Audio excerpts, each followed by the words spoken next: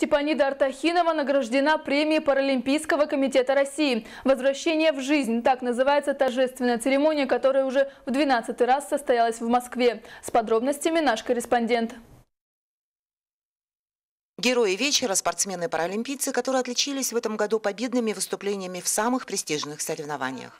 Несмотря на сложные условия, в которых в настоящее время функционирует национальный паралимпийский спорт, наши атлеты не перестают удивлять и радовать своими красивыми победами на международной арене.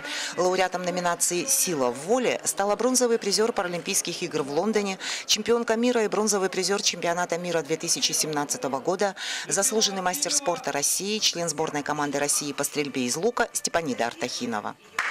Мы с удовольствием приглашаем на эту сцену обладательницу золотой и бронзовой награды чемпионата мира по стрельбе из лука для лиц с поражением борта двигательного аппарата Степаниду Артахинову. Аплодисменты, пожалуйста. Награду спортсменка получила из рук генерального продюсера телеканала «Матч ТВ» Тины Канделаки.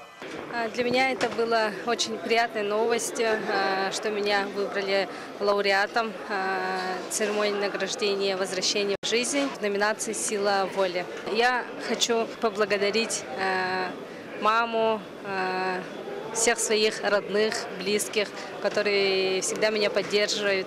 В этом году Степанида достойно проявила себя на международной арене. На чемпионате мира в Пекине, выступив в паре в блочном луке с Иваном Козловым, выиграла золото, а также бронзу в командных соревнованиях. Но сама спортсменка уверена, что главные ее победы еще впереди. Каждая судьба лауреата церемонии в буквальном смысле говорит о его пути восхождения на спортивный Олимп.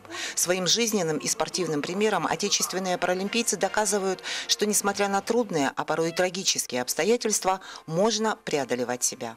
Татьяна Черемкина, Олег Южилкин, НВК «Саха», Москва.